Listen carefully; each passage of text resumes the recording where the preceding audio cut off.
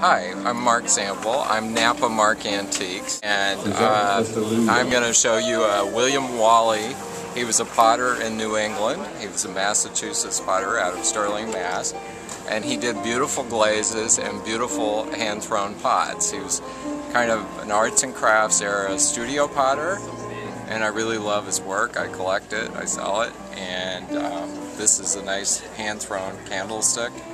And with the applied handle and he made beautiful uh, de uh, decorative pieces, uh, some similar to Grueby, but he was more experimental with his glazes, which is why I love him.